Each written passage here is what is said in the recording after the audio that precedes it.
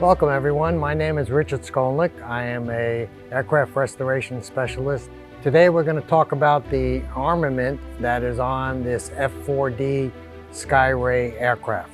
These 20 millimeter cannons, basically made out of steel pipe, two of them on each side, have a capacity of 65 rounds per gun.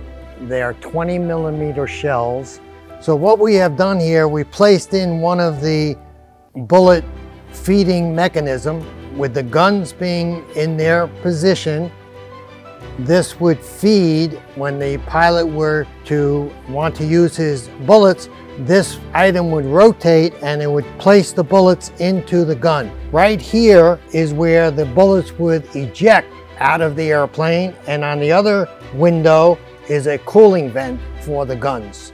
There would be two of these racks so each gun would hold approximately 130 bullets on each side. So it had the ability to have a dogfight and it had the ability to shoot down a predator if necessary.